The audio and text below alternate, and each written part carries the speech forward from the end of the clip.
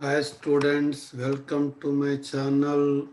Today's session NMMS, NMMS material preparation by 8th class physical science, 8th class physical science, కృత్రిమ దారాలు ప్లాస్టిక్లు కృత్రిమ దారాలు మరియు ప్లాస్టిక్ అనే పాఠంపై ముఖ్యమైన అంశాలు సినాప్సిస్ అంట ముఖ్యమైన అంశాలు డిస్కస్ చేద్దాం I wish you all the best like share and subscribe to my channel today section చూడమా కృత్రిమ దారాలు. దారాలు అంటే ఏంటివి చూడమా దారాలంటే ఏమో కాదు.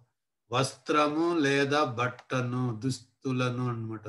తయారు చేయడానికి ఉపయోగించే సన్నని పొడవైన పీచు లేదా నారను దారం అంటారు. సో దారం అంటేనే బట్టల నేతకు ఉపయోగించే వస్త్రముల నేతకు ఉపయోగించే సన్నని పొడవైన పీచు లేక నారను దారాలు అంటారు అన్నమాట.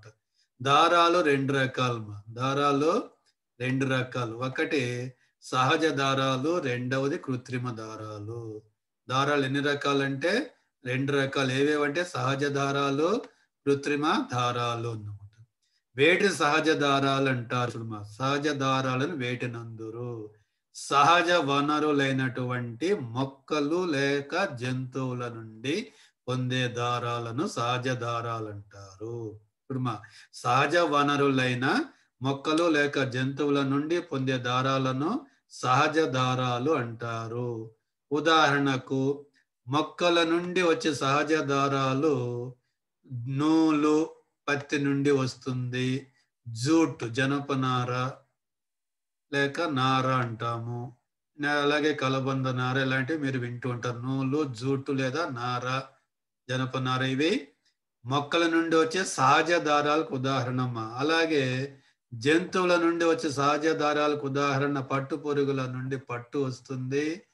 గొర్రెల నుండి ఉన్ని వస్తుంది. ఇవి రెండు జంతువుల నుండి లభించే సహజ దారాలు సో మొత్తం మీద సహజ దారాలు ఏవేవి? ఉదాహరణ నూలు జుట్టు జూటు లేదా నార పట్టు ఉన్ని మొదలైనవి. పట్టును సిల్క్ అంటాము. పట్టును సిల్క్ అంటాము. సో క్రింద వాటిలో సహజ దారము కానిదేది? సహజ దారం ఏది? ఇట్లా అడుగుతూ ఉంటారు. జాగ్రత్తగా ఆన్సర్ చేయవలసి ఉంటుంది. నెక్స్ట్ చూడమా ఇలా మొక్కలు జంతువులు అనేవి సహజ వనరులు అంటాం మొక్కలు జంతువుల వంటి సహజ వనరుల నుండి కాకుండా ల్యాబొరేటరీలో పెట్రోలియం ముడి పదార్థాల నుండి పెట్రోలియం ముడి పదార్థాల నుండి వాటిని పెట్రో రసాయనాలు అంటాం. కృత్రిమముగా ప్రయోగశాలలో లేదా పరిశ్రమలలో తయారు చేయబడే దారాలను కృత్రిమ దారాలు లేదా మానవ నిర్మిత దారాలు లేదా సంశ్లేషిత దారాలు అంటారు. సో సహజ వనరుల నుండి కాకుండా పెట్రోలియం ముడి పదార్థాలు లేదా పెట్రో రసాయనాల నుండి కృత్రిమముగా ల్యాబొరేటరీలో తయారు చేయబడే దారాలను కృత్రిమ దారాలు లేదా మానవ నిర్మిత దారాలు అంటారు సో కృత్రిమ దారాలకు ఉదాహరణ చూడుమా. రేయాన్ నైలాన్ అక్రిలిక్ పాలిస్టర్ ఇవి అన్నమాట. సో ఇక్కడ ముఖ్యంగా పెట్రోలియం అనేది మనకు తెలుసు భూమిలో లభిస్తుంది.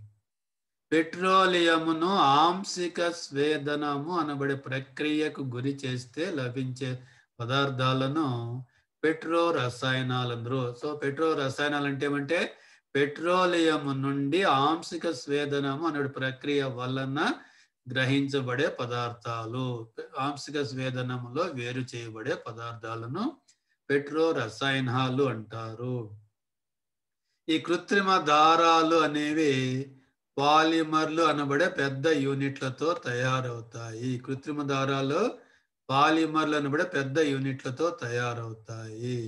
ఈ పాలిమర్ అనేది మోనోమర్ అనే చిన్న యూనిట్లతో తయారవుతుంది సో పాలిమర్ అంటే ఏమంటే మోనోమర్ అనబడే ఒకే విధమైన చిన్న యూనిట్లు ఒకదానితో ఒకటి పొడవు గొలుసుగా నిర్మాణాలను ఏర్పరచడము అనమాట ఉదాహరణకు పూసల గొలుసు తీసుకుంటే ఒక్కొక్క పూసను దారానికి కుట్టుకుంటూ పోయి పెద్ద దండ లేదా గొలుసు లేదా ఏర్పడుతుంది. ఒక్కొక్క పూసను మోనోమర్ అని మొత్తం పూసల గొలుసును పాలిమర్ అని అంటాము. నెక్స్ట్ చూడమ్మా. సెల్యులోజ్ అనేది గ్లూకోజ్ అణువులతో ఏర్పడిన సహజ పాలిమర్ అంటాం సెల్యులోజ్ అనేది గ్లూకోజ్ అణువులతో ఏర్పడిన సహజ పాలిమర్ అంటాం. నెక్స్ట్ వన్ ఫస్ట్ వన్ మనకు తీసుకుంటే నైలాన్ దారము నైలాన్ తీసుకుంటే నైలాన్ అనేది మొట్టమొదటిగా తయారు చేయబడిన కృత్రిమ దారము. నైలాన్ అనేది మొట్టమొదటిగా తయారు చేయబడిన కృత్రిమ దారము అన్నమాట. సో నైలాన్ దేనిని తయారవుతుంది చూడమ్మా నేలబొగ్గు నీరు మరియు గాలి నుండి తయారు చేయబడిన మొట్టమొదటి కృత్రిమ దారము. సో నైలాన్ తయారీకి వాడే ముడి పదార్థాలు ఏ? నేలబొగ్గు బి నీరు సి గాలి డి అన్ని అని అడుగుతుంటారు. అప్పుడు అన్ని రాయాల్సి వస్తుంది. నేలబొగ్గు నీరు మరియు గాలి అనేవి నైలాన్ తయారీ కావలసిన ముడి పదార్థాలు. ఈ నైలాన్ అనేది రెండవ ప్రపంచ యుద్ధ కాలంలో ఎక్కువగా ప్రాచుర్యంలోకి వచ్చినది అన్నమాట. నెక్స్ట్ నైలాన్ చుడుమ దారము చాలా బలంగా ఉండి దృఢంగా గట్టిగా ఉండి సాగు గుణము కలిగి మెరుపును కలిగి ఉండి తేలికగా ఉండే దారము.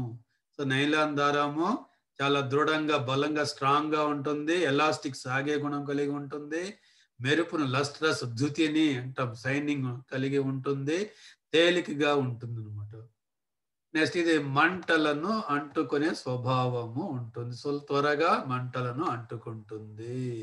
ఇది నైలాన్ దారంలో ఉన్నటువంటి ఒక డ్రాబ్యాక్ మా ఇది సులభంగా మంటలను మండుకుంటుంది. అందువల్ల మనము ఎక్కువగా వండుతున్నప్పుడు కానీ వెల్డింగ్ చేయనప్పుడు కానీ మంటకు దగ్గరలో పనిచేస్తున్నప్పుడు కానీ భారీ యంత్ర పరికరాలు వాడేటప్పుడు కానీ నైలాన్ బట్టలను వేసుకోకూడదు. వంట చేసేటప్పుడు మంటకు దగ్గరగా పనిచేసేటప్పుడు భారీ యంత్ర సామాగ్రితో పనులు చేసేటప్పుడు వెల్డింగ్ చేసేటప్పుడు నైలాన్ బట్టలు వేసుకోకూడదు. అలాగే వంట చేస్తున్నప్పుడు లేదా మంటకు దగ్గరలో పని చేస్తున్నప్పుడు ఏం చేయాలంటే ఒకవేళ నైలాన్ దుస్తులు ధరించినట్లయితే నైలాన్ బట్టల మీద ఉపవస్త్రము అంటాం అఫ్రాన్ అంటాం. అఫ్రాన్ కోట్ లాంటిది ఉంటుంది కోట్ లాంటిది. అఫ్రాన్ ఉపవస్త్రాన్ని మనము వేసుకోవాలి అన్నమాట. నెక్స్ట్ చూడమా నైలాన్తో తయారయ్యే వస్తువులు తీసుకుంటే నైలాన్తో మా ముఖ్యంగా ఏమేమి తయారవుతాయి? మనము పళ్ళు తోముకోవడానికి ఒక బ్రష్ వాడతాం ఆ పళ్ళు తోమేదానికి బ్రష్ వాడతాము. ఆ బ్రష్ యొక్క కొంచెం ముళ్ళు అలాగే తాళ్ళు చేపల వేటకు వాడే వలలు గుడారాలు చీరలు కాళ్ళకు వేసుకుని చిన్న మేజోళ్ళు సీట్ బెల్టులు నిద్రకు ఉపకరించే సంచులు ఇవన్నీ కూడా నైలాన్తో తయారైబడతాయి సో పళ్ళు తోముకోవడానికి వాడే బ్రష్లు కాళ్ళు చేపల వేటకు వాడే వలలు గుడారాలు చీరలు కాళ్ళకు వేసుకుని చిన్న మేజోళ్ళు కాళ్ళకు నెక్స్ట్ సీట్ బెల్టులు నిద్రకు ఉపకరించే సంచులు అన్నమాట. ముఖ్యంగా మనం చూసినట్లయితే పర్వతారోహకులు అంటాం కొండలు గుట్టలు పర్వతాలు ఎక్కే వాళ్ళు ఏం చేస్తారు? తాడు సహాయంతో ఎక్కుతూ ఉంటారు. ఆ తాళ్ళు నైలాన్ తాళ్ళు అన్నమాట. అలాగే కార్పెట్స్ మా తివాచీలు అంటాం. కార్పెట్స్ ముఖ్యంగా ఉన్నితో తయారు చేస్తారు. ఉన్నికి బదులు నైలాన్ను వాడుతూ ఉన్నారు. ఇంకా పారాచూట్ల తయారీలో కూడా వాడతారు. పారాచూట్ తయారీలో కూడా దీనిని వాడతారు. నెక్స్ట్ కొన్ని గొడుగు గుడ్డలు గొడుగు గుడ్డ కూడా నైలాన్తో చేయబడి ఉంటుంది. ఎందువల్లంటే నైలాన్ చాలా గట్టి పదార్థము తేలికగా ఉంటుంది. అయితే నీటిని పీల్చుకోదు. ఎండాకాలంలో నైలాన్తో తయారైన బట్టలు ధరించరాదు. ఎందుకంటే చెమటను పీల్చుకోదు అన్నమాట. నెక్స్ట్ రెండవది రేయాన్మ రెండవ దారము రేయాన్మ. రేయాన్ అనేది మొక్కల సెల్యులోజ్ నుండి పొందదగిన ఒకే ఒక కృత్రిమ దారము. మొక్కల సెల్యులోజ్ నుండి మా ముఖ్యంగా రేయాన్ను దేని నుండి తయారు చేస్తారంటే కొయ్య గుజ్జు నుండి తయారు చేస్తారు. రేయాన్ను కొయ్య గుజ్జు లేదా కర్ర గుజ్జు లేదా వెదురు గుజ్జు నుండి తయారు చేస్తారు. సో రేయాన్ దేని నుండి తయారు చేస్తారంటే కర్ర గుజ్జు లేదా వెదురు గుజ్జు లేదా కొయ్య గుజ్జు నుండి తయారు చేస్తారు. ఆ కర్ర గుజ్జు లేదా వెదురు గుజ్జులు ఏముంటుందంటే సెల్యులోజ్ అనబడే పదార్థం ఉంటుంది. అందుచేత దీన్ని సెల్యులోజ్ దారం అని కూడా అంటాము. సెల్యులోజ్ దారం అని కూడా అంటాము. సెల్యులోజ్ నుండి తయారైన దారం కృత్రిమ దారము అని అడిగితే రేయన్ అని చెప్పాలి. Next one. ఈ రేయాన్ చూస్తే మనకు సిల్క్ పట్టు దారము వలె కనిపిస్తుంది. పట్టు దారం వలె కనిపిస్తుంది. అందువల్ల దీన్ని కృత్రిమ పట్టు కృత్రిమ సిల్క్ అని కూడా అంటారు. కృత్రిమ సిల్క్ అని దేనినందరు? రేయాన్. ఎందుకంటే సిల్క్ పట్టు లాగా ఇది కనిపిస్తుంది. సెల్లోస్ దారం దేనినందరు? రేయాన్. ఎందుకంటే వర్ర గుజ్జు నుండి రేయాన్ని తయారు చేస్తారు. అందులో సెల్యులోజ్ ఉంటుంది అన్నమాట.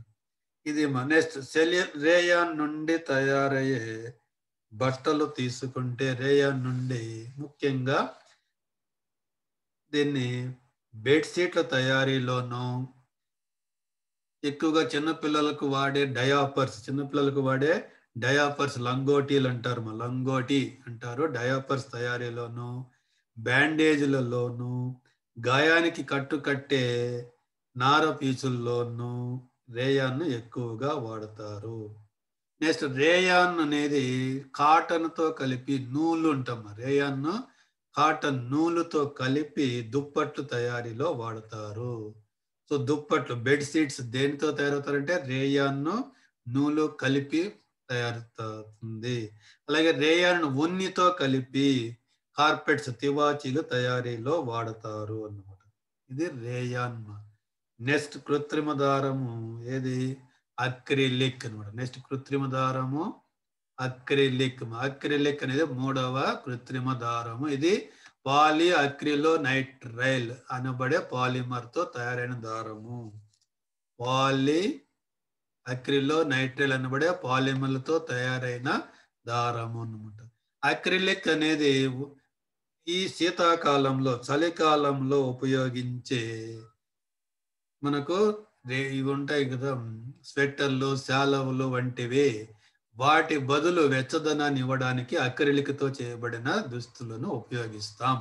అందువల్ల దీనిని కృత్రిమ ఉన్ని అని నకిలీ ఉన్ని అని పేర్కొంటాం. కృత్రిమ ఉన్ని లేదా నకిలీ ఉన్నిని అక్రిలిక్ అంటారు. ఎందువల్ల అంటే శీతాకాలంలో వేసుకునే ఉన్ని దుస్తులు శాలవులు ఇట్లాంటివి.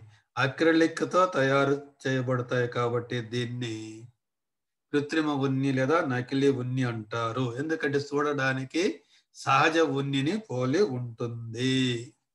మాట నెక్స్ట్.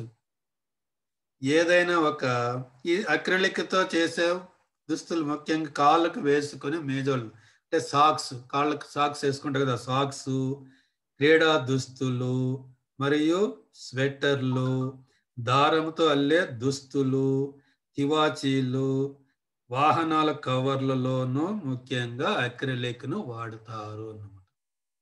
నెక్స్ట్ వన్ మా.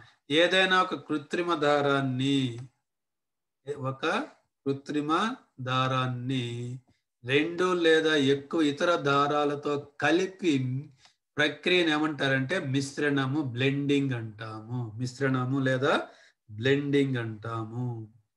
అనమాట పాలిష్ నెక్స్ట్ వన్ మా లాస్ట్ నాలుగవ కృత్రిమ దారము పాలిస్టర్.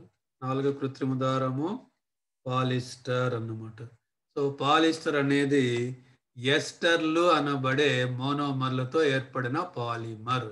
ఎస్టర్లతో ఏర్పడే పాలిమర్. సో పాలిస్టర్లోని మోనోమర్లు ఏమంటే ఎస్టర్లు అన్నమాట. ఎక్కువగా ప్రాచుర్యంలో పాపులర్గా ఉన్నటువంటి పాలిస్టర్ ఏదంటే టెర్లిన్ అనమాట టెర్లిన్ టెర్లిన్ పాలిస్టర్ టెర్లిన్ క్లాత్ అంటుంటాం. టెర్లిన్ అనేది ఎక్కువ ప్రాచుర్యంలో ఉన్న పాలిస్టర్. ఇది ఇంపార్టెంట్ మా. టెర్లిన్ను నూలుతో కాటన్తో మిశ్రణము చెందించి టెరి కాటను వాడతారు. కేవలము నూలు బట్టలు వేసుకుని వేస్తే ఏదేమవుతుంది? నూలు బట్టలు మనకు తెలుసు. త్వరగా ముడతలు పడతాయి ముడుచుకొని పోతాయి. ముడతలు పడ ముడతలు ముడతలు అవుతాయి అన్నమాట. నెక్స్ట్ టెర్లిన్ అయితే ముడతలు పడదు. నూలు అయితే చెమటను తేమను బాగా పీల్చుకుంటుంది. టెర్లిన్ అనేది చెమటను అంతగా పీల్చుకోదు. సో ఈ రెండు మిశ్రణము చేసినట్లయితే మనకు ముడతలు పడని చెమటను సులభంగా పీల్చుకొని ఒక పట్ట మనకు టెరికాట్ అనేది లభిస్తుంది. ఇది వేసుకోవడం వల్ల మనకు సురక్షితము. అలాగే టెర్లిన్ను టెర్లిన్ ఉన్నితో మిశ్రణము చెందించి టెర్లిన్ జుడుమ ఉన్నితో మిశ్రమం చెందించి టెరివూలను తయారు చేస్తారు. టెరివూలని తయారు చేస్తారు. నెక్స్ట్ పిఈటి మా నెక్స్ట్ కింద నేర్చుకుంటారు. పిఈటి అనేది అందరికీ తెలిసిన ఒక పాలిస్టర్ రూపము. పిఈటి అనేది డ్యాష్ రూపం అంటే ఒక పాలిస్టర్ రూపము అన్నమాట. అలాగే పిఈటి అనేది ఎక్కువగా వాడుకలో ప్రాచుర్యంలో ఉన్నటువంటి ఒక పాలిస్టర్ రూపం అంటాం. నెక్స్ట్ హెడ్డింగ్ మా. ప్లాస్టిక్ లేక రేజిన్ను గుర్తించే చిహ్నాలు. ప్లాస్టిక్ లేదా రేజిన్ను గుర్తించే చిహ్నాలు. పిఈటి మా. వన్ ఏం పాలిఎథిలిన్ టెరిప్తలేట్ అనాలా. హెచ్డిపిఈ అధిక సాంద్రత గల పాలిఎథిలిన్ అధిక సాంద్రత గల polyethylene PVC polyvinyl chloride LDP అల్ప సాంద్రత గల polyethylene PP polypropylene PS polystyrene తర్వాత నేర్చుకున్నాం. నెక్స్ట్ చూడమా polytetrafluoroethylene polytetrafluoroethylene Teflon అంటాం. సో టెఫ్లాన్ యొక్క రసాయనిక నామం ఏమంటే పాలిటెట్రాఫ్లోరో ఇథిలిన్ అనమాట ఇది ఒక టెఫ్లాన్ అని పిలుస్తాం. దీనిని ఎక్కువగా నాన్ స్టిక్ పాత్రలో నాన్ స్టిక్ కుక్కర్లో నాన్ స్టిక్ పెనుములు అని వింటుంటారు మా ఇంట్లో. దోశలు పెనుము ఇలాంటివి నా దోశలు చపాతీలు వేసుకున్న పెనుములు నాన్ స్టిక్ పెనుములు తయారీలో టెఫ్లాన్ను వాడతారు. ప్లాస్టిక్లు అనేవి అధిక అనుద్రవ్య రాశిని అదే తక్కువ ద్రవీభవన ఉష్ణోగ్రతలు గల సంక్లిష్ట పాలిమర్లు అంటారు. నెక్స్ట్ హెడ్డింగ్ మా. ప్లాస్టిక్లో ఎన్ని రకాలు? ప్లాస్టిక్లు రెండు రకాలు మా. ఒకటి ధర్మో ప్లాస్టిక్లు రెండు ధర్మో సెట్టింగ్ ప్లాస్టిక్లు. సో ప్లాస్టిక్లు ఎన్ని రకాలు అంటే రెండు రకాలు. ఏవంటే ధర్మో ప్లాస్టిక్లు ధర్మో సెట్టింగ్ ప్లాస్టిక్లు అన్నమాట. ఫస్ట్ ధర్మో ప్లాస్టిక్లని వేటినందురు చుడుమా? ధర్మో ప్లాస్టిక్లని వేటినందురు చుడుమా? వేడి చేసినప్పుడు మనము వేడి చేస్తే ఏమవుతాయి? ముడుసుకొని పోయి మెత్తగా వండి వంచడానికి వీలయ్యే ప్లాస్టిక్లు. వేడి చేసినప్పుడు మెత్తగా మారడం ముడుచుకుని పోవడం వంచడానికి వీలుగా మారితే ఆ వాటిని ధర్మో ప్లాస్టిక్లు అంటారు. నెక్స్ట్ వన్ ఎగ్జాంపుల్ మా ధర్మో ప్లాస్టిక్లకు ఉదాహరణ.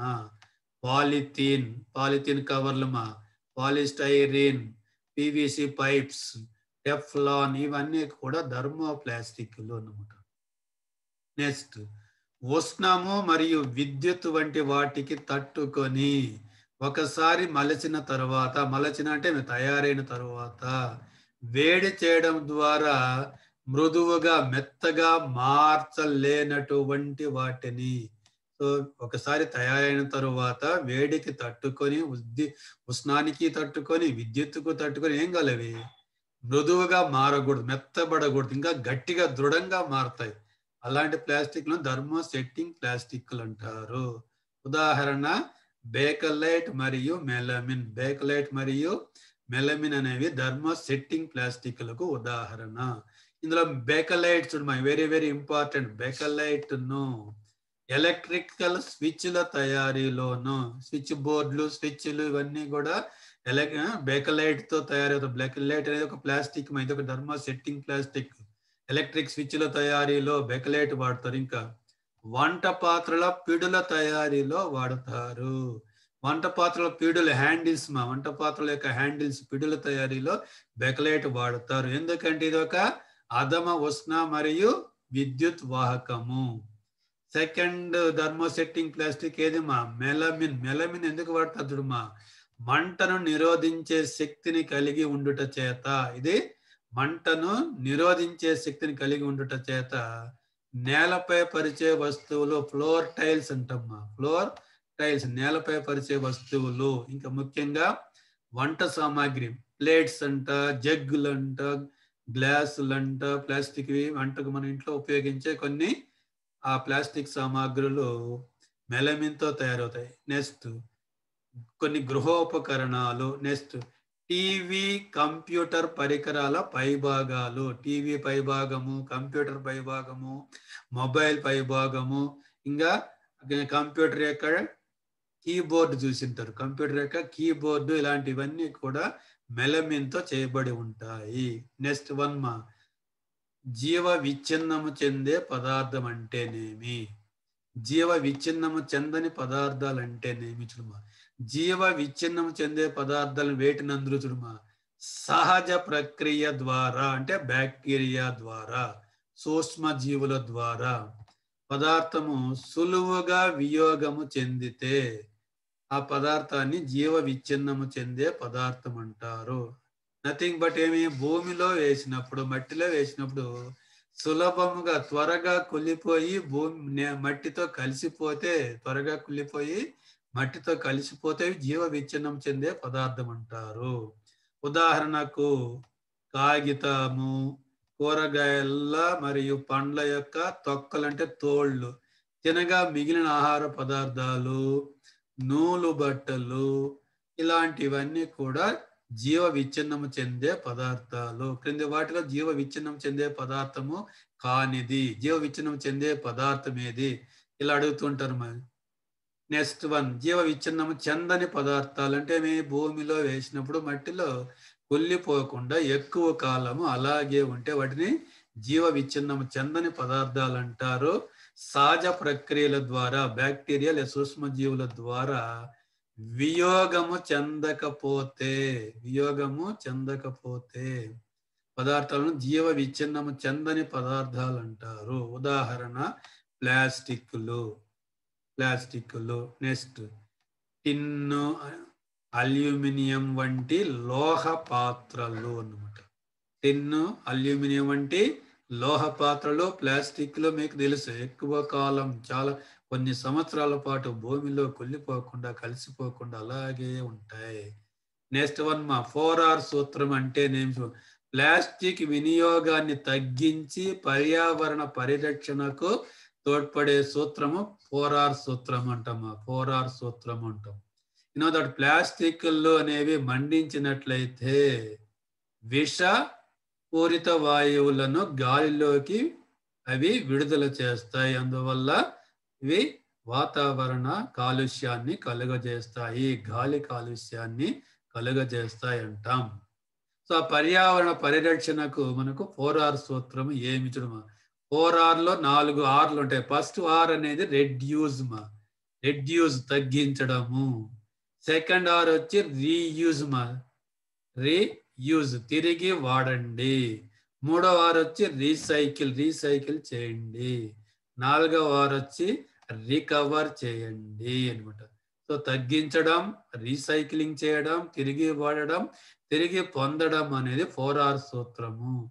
క్రింది వాటిలో ఫోర్ ఆర్ సూత్రము కానిది అని చెప్పి వీటిలో ఏవైనా మూడిచ్చి ఇంకోటి వేరుగా ఇస్తాడు మా నెక్స్ట్ చూడమ్మా ల్యాండ్రీ లేబుల్స్ మీరు రెడీమేడ్ బట్టలు కొన్నట్లయితే ఆ వాటి మీద లేబుల్స్ ఉంటే లేబుల్స్ మీద ఇలాంటి కొన్ని సింబల్స్ ఇతర సింబల్స్ మీరు గమనిస్తూ ఉంటారు. వీటిలో ఫస్ట్ చూడమ ఇలా ఉంటే దీన్ని వాషబుల్ అంటాం. టెంపరేచర్ టు వాష్ అంటాం. వాషబుల్ అంటాం. ఇలా ట్రయాంగిల్ సింబల్ మాత్రమే లేబుల్స్ మీద ఉంటే లాండ్రీ లేబుల్స్ అంటాం. బ్లీచింగ్ ఏజెంట్స్ ఉపయోగించి వాటిని ఉతకవచ్చు శుభ్రం చేయవచ్చు అంటాం సో ట్రయాంగిల్ మీద ఇట్లా ఇంటూ సింబల్ ఉంటే do not bleach bleaching agent కొన్ని బ్లీచింగ్ ఏజెంట్స్ను వాడకూడదు అంటాము. దాన్ని ఇది iron box symbol iron box సింబల్లో మూడు డాట్స్ ఉంటే త్రీ డాట్స్ ఉంటే వెరీ హాట్ ఐరన్ అంటాం ఎక్కువ ఉష్ణోగ్రత వద్ద దాదాపు టూ హండ్రెడ్ డిగ్రీ సీమ. దాదాపు టూ హండ్రెడ్ డిగ్రీ సెంటిగ్రేడ్ వద్ద ఐరన్ దుస్తు బట్టలను ఇస్త్రీ చేయవచ్చు అంటమ్మా ఒకవేళ రెండు డాట్స్ ఉంటే ఇక్కడ మనకు ఇవ్వడు ఇవ్వలేదు. రెండు డాట్స్ ఉంటే టూ వన్ ఫిఫ్టీ డిగ్రీస్ వద్ద ఐరన్ చేయవచ్చు అంటాం. ఒక డాట్ ఉంటే దాదాపు హండ్రెడ్ లేదా వన్ టెన్ డిగ్రీస్ వద్ద మాత్రమే ఐరన్ చేయవచ్చు. నెక్స్ట్ చూడండి ఐరన్ బాక్స్ ఏమీ లేకపోతే పాట్ ఈజ్ ప్రెటీ కూల్ అంటాం. ఐరన్ బాక్స్ ఇంటూ వేస్తే డస్ నాట్ ఐరన్ ఇలాంటి బట్టలను రెడీమేడ్ దుస్తుల మీద ఇలా ఐరన్ బాక్స్ వేసి ఇంటూ ఉంటే వాటిని ఐరన్ చేయకూడదు ఇస్త్రీ చేయకూడదు నత్రము సో మా సర్కులు గీస్తే ఓన్లీ సర్కులు గీస్తే డ్రై క్లీనింగ్ అంటాం. అందులో పి ఉంటే ఏదైనా సాల్వెంట్ను వాడచ్చు. ఏ ఉంటే డో నాట్ డ్రై క్లీనింగ్ అంటాం. ఇది మా నెక్స్ట్ వన్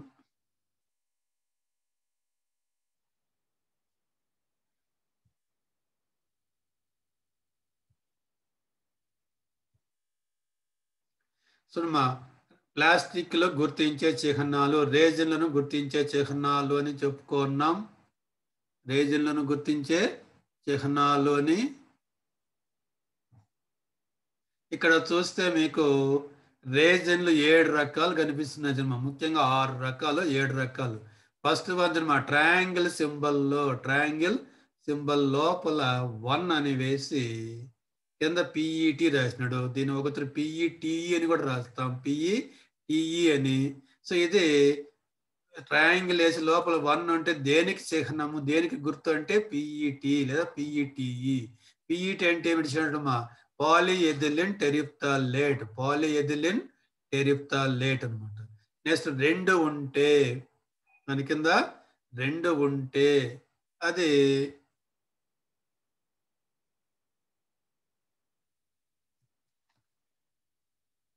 హెచ్డిపిఎం రెండు ఉంటే హెచ్డిపిఈ అంటాం. రెండు ఉంటే హెచ్డిపిఈ అంటాం.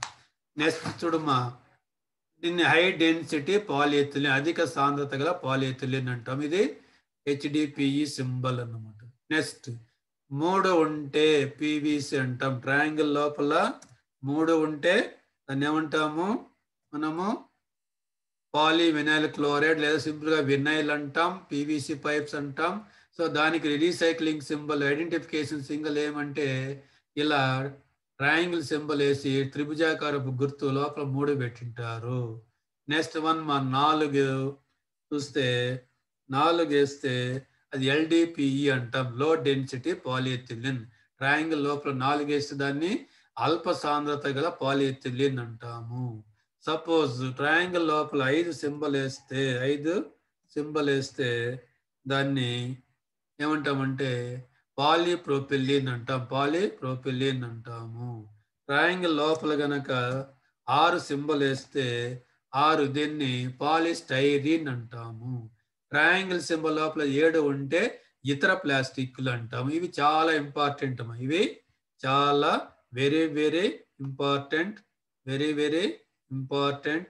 ఇంతకు ముందే మనం చెప్పుకున్నాం చూడమ్మా పిటిపిఈ పీటీపీఈ అంటే పాలిటెట్రా ఫ్లోరో ఇథిలిన్ పిటిపిఈ అంటే పాలిటెట్రా ఫ్లోరో ఇథిలిన్ దీన్ని టెఫ్లాన్ అంటాము. ఏమంటాము?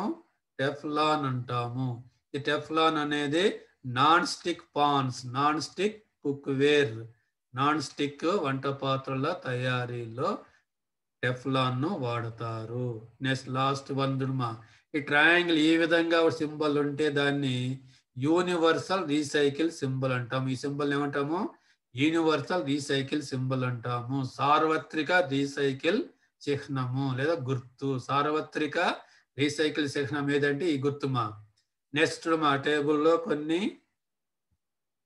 understanding plastic recycling symbols so మనం ఇంతకుముందు చెప్పుకున్నాం ట్రయాంగిల్ సింబల్ వేసి లోపల వన్ వేస్తే అది పిఈటి అయినా కావచ్చు పిఈటిఈ కావచ్చు పాలిఎథిల్ టెరిప్టలేట్ అన్నాం. దీన్ని ఎందుకు వాడతారు చూడమ్మా soft drink bottles water bottles ఇలాంటి ఇక్కడ చూస్తే మీరు గమనిస్తే అనేక రకాల బాటిల్స్ తయారీలో పెట్ పిఈటిని వాడతారు. ఇది రీసైకిల్ అవుతుందా అంటే అవును రీసైకిలింగ్ అవుతుంది. రెండవది మా HDPE HDPE high density polyethylene దీన్ని కూడా మిల్క్ జగ్స్ అంట జ్యూస్ బాటిల్స్ అంట బట్టర్ టబ్స్ అంట షాంపూ బాటిల్స్ ఇలాంటి తయారీలో వాడతారు. ఇక్కడ చూస్తే డయాగ్రామ్లో మీకు తెలుస్తుంది.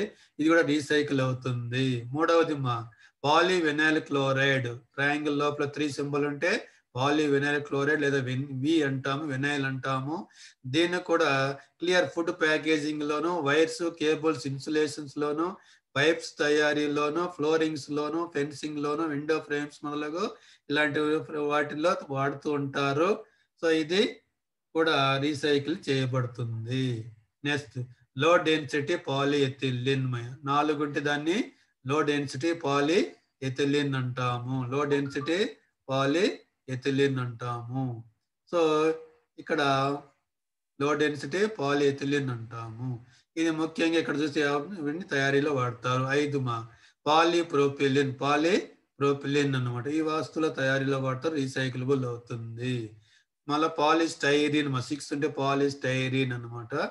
ఇలా డిస్పోజబుల్ ప్లేట్స్ అన్నమాట. డిస్పోజబుల్ కట్లరీ అంటాము మీట్ ట్రేస్ అంటాము ఎగ్ కర్టెన్స్ అంటాము క్యారీఅవుట్ కంటైనర్స్ అంటాము ఆస్పిరిన్ బాటిల్స్ అంటాము సిడి వీడియో కేసెస్ ఇలాంటివన్నీ కూడా పాలిస్టైరిన్తో తయారు చేయబడతాయి. Last one others. ఇతర ప్లాస్టిక్లు అంటాం. ఏడు ఉంటే. ఇతర ప్లాస్టిక్లో ఎలాంటి వస్తువులు తయారీలో గ్యాస్ కంటైనర్స్ అంట వాటర్ క్యాన్స్ అంట ఇలాంటివన్నీ తయారీలో వాడతారు. Okay thank you for watching my video. Once again I wish you all the best. Like share and subscribe to my channel.